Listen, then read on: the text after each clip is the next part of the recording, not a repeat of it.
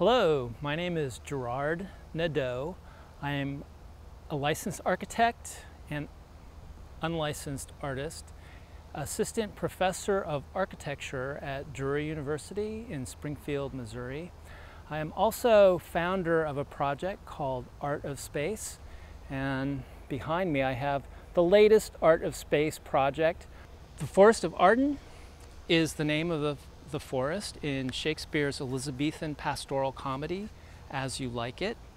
So, so this piece, um, using this wooden slat technique that uh, we developed in Springfield uh, as a form of participatory installation making, uh, also kind of assumes these funnel shapes that you might imagine create something like a tree canopy.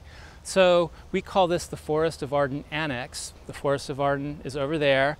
This is a kind of residual space on campus. Uh, there isn't even irrigation in this corner of campus.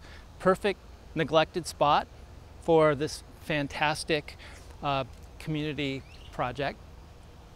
Orlando, and I will remember the, her name, uh, carves Rosalind's name in trees throughout the Forest of Arden and hangs bad love poetry for her throughout the forest.